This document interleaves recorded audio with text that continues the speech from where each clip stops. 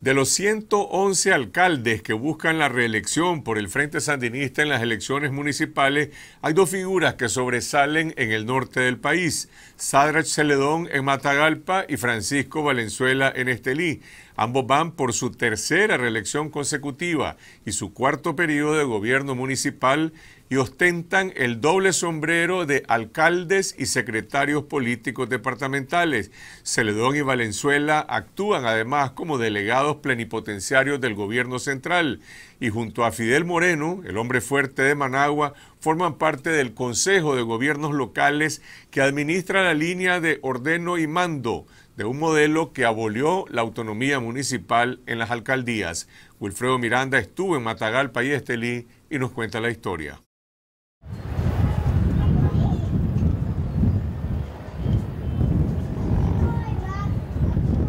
Ganamos, ganamos todos con Sadrach, alcalde de Matagalpa. Durante tres periodos, Sadrach Celedón ha gobernado el municipio de Matagalpa por el Frente Sandinista. Ahora va por su tercera reelección y de ganar en noviembre próximo como se prevé, acumularía 18 años de administración. Sadrach, aparte de ser el alcalde, es el presidente nacional de la Asociación de Municipios de Nicaragua, de todos los alcaldes. Sadrash también es el secretario político de Matagalpa, pero te aseguro que es regional también. O sea, Sadrash eh, tiene la gran bendición del, del compañero eh, Daniel Ortega y la compañera Rosario Morillo. Seguridad humana, seguridad ciudadana, cariño, amor y felicidad. La gestión de Celedón como alcalde y responsable partidario simboliza la fusión Estado-Partido a nivel municipal. Algunos opinan que la gestión partidaria eclipsa la labor edilicia. Pero en las calles de Matagalpa, la mayoría tiene palabras elogiosas sobre su gestión. Me parece perfecto porque ha sido una muy buena persona con la gente humilde, trabajadora y ha hecho muchos logros aquí en Matagalpa. Me ha parecido bien la gestión de Sadra Celedón porque he sido una persona que hemos estado en reuniones con él porque cuando estuve en unos proyectos que se llamaba Arcoiris, él nos visitaba y trabajamos bastante de acuerdo. Es un, un alcalde buenísimo que no lo podemos cambiar. Estamos con él y con el frente. Yo soy María Héroe y Marte. No, hay, no tengo nada más que decir, que vamos en la dos. No solo los militantes sandinistas ofrecen una versión positiva de Celedón. ¿Qué le parece la gestión del alcalde Celedón? El alcalde siempre se ha destacado por todas sus gestiones positivas en pro del desarrollo de Matagalpa. En la comunidad de nosotros ha, ha hecho muchas obras este, buenas, ¿para qué? ¿Qué obras? Por ejemplo, la huella y el doquinado. No, no, sí se han visto obras que ha hecho, sí. ¿Para qué? Le ha hecho capricho. ¿Qué le parece que él tenga más de 15 años gobernando aquí? Demasiado. Demasiado, porque tiene que, pues, tiene que cambiar, poner otro, a ver qué, qué función hace. Celedón llegó por primera vez a la alcaldía en el año 2000. En 2004 no pudo postularse porque la reelección continua estaba prohibida. Regresó en las municipales de 2008 y desde entonces ha sido alcalde y candidato eterno por el Frente Sandinista en Matagalpa. Sadrach es tres alcaldes en diferentes periodos diferentes. En su primera elección en el 2000 fue una persona muy cercana a la población. En el segundo periodo, cuando ya entró el gobierno de Daniel a la presidencia, las reglas del juego cambiaron. Entonces todo el tema de la autonomía municipal, de la descentralización municipal cambió y por ende la forma de gobierno de la alcaldía cambió.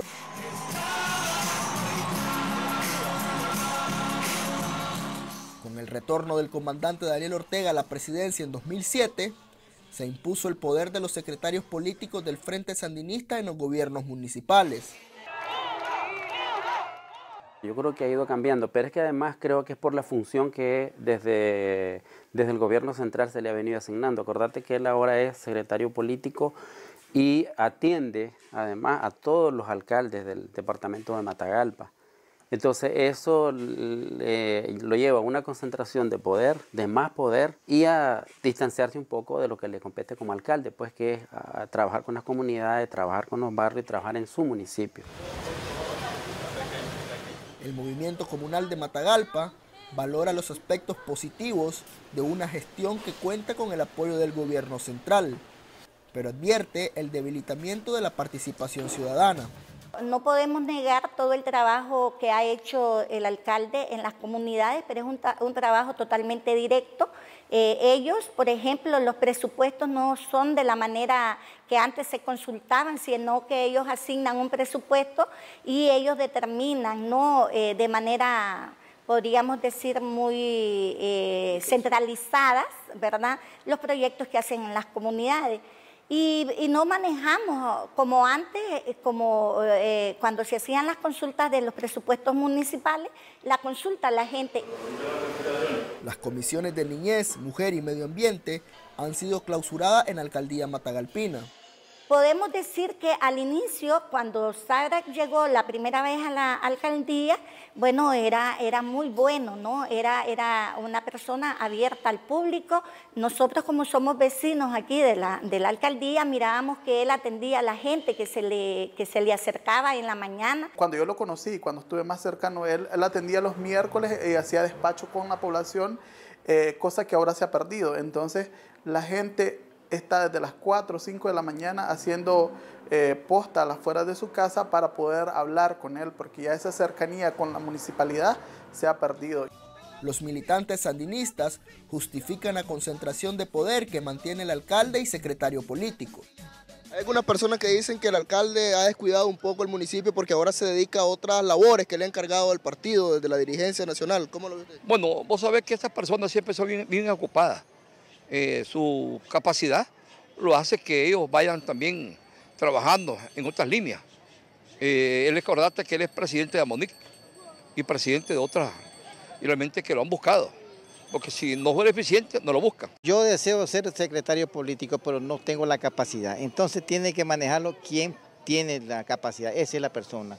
Mira, yo soy, yo soy sandinista, soy militante del frente y el partido tiene que ser dirigido por alguien que sepa. Esta semana solicitó una entrevista al alcalde Celedón para hablar sobre su tercer candidatura consecutiva y su rol como secretario político. Somos periodistas de un programa que se llama Esta Semana y andamos buscando al alcalde. El alcalde está afuera, fíjese que anda en una comunidad. Pero no obtuvimos respuesta. El Congreso Sandinista acordó que las candidaturas serían escogidas en consulta con las bases a través de encuestas. En varios municipios hubo protestas cuando se irrespetó la voluntad popular. En Matagalpa, nadie refuta la selección de Celedón como candidato. Eso ya es decisión del partido. Si el partido lo, designó a él. Y aquí ahorita hubieron encuestas como para preguntarle a la gente si estaba de acuerdo que él volviera a ser el candidato. Que yo sepa, no. Yo también soy militante y no sé yo pues, en ese aspecto, pero sí yo sé que es una decisión del partido. En mi barrio eh, sé que se hicieron dos reuniones para preguntar si apoyaban la gestión de Sadrash, pero de que haya habido una consulta, una encuesta escrita desde mi percepción como profesional, una encuesta estructurada, no la conozco. Sadrash Celedón es el hombre fuerte en Matagalpa y ejerce el poder absoluto como un delegado gubernamental. Aquí nada se mueve sin su aval y por ahora no se perfila en ninguna competencia política.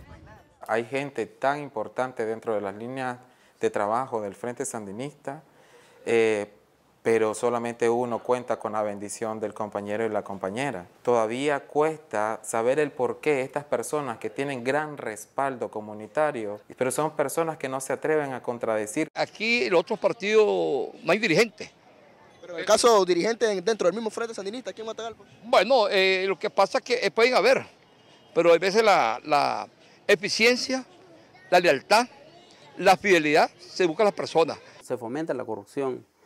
Eh, tres, se fomenta el favoritismo.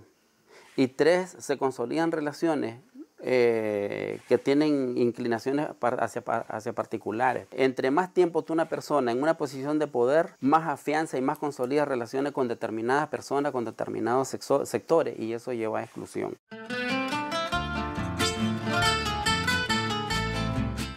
La historia se repite en Estelí con el alcalde y candidato eterno del Frente Sandinista, Francisco Pancho Valenzuela.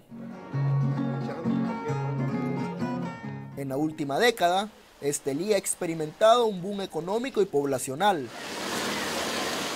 La alcaldía de Estelí necesita un, tiempo completo del alcalde. Esta es una ciudad que además de crecer aceleradamente en el desarrollo económico, es la, la, una de las ciudades con menos índice de desempleo. El alcalde Francisco Valenzuela se encamina a su tercera reelección consecutiva. Valenzuela es también secretario político departamental. En los asentamientos que han sido elevados a categoría de barrios, algunas personas reclaman por la falta de presencia de la alcaldía. ¿Qué le parece la gestión del alcalde aquí en la ciudad de Estelí?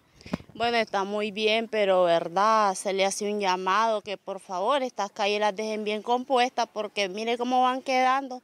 Como puede ver, ¿verdad? El agua no tiene corrimiento muy bueno. La verdad que aquí estamos bastante molestos con la situación del alcalde porque no nos quiere dar la cara. Inclusive hace como dos años eh, se depositó un dinero para el arreglo de calles y eh, a través de unos pastores y no quiere ni recibir los pastores, no quiere nada. Ya lo mire usted que este barrio es pobre. Van la gente a pedirle ayuda a, pa, a este, a, a este, ¿cómo se llama? Pancho, no se encuentra. ¿Quieren alguna cosa hacer la gente de este barrio? No se encuentra. No está Payo, dice la secretaria. Este no está Pancho, ni uno ni el otro. El modelo de gobierno local reproduce los vicios del centralismo que se practican a nivel nacional. El compañero alcalde tiene un montón de responsabilidades, ¿verdad?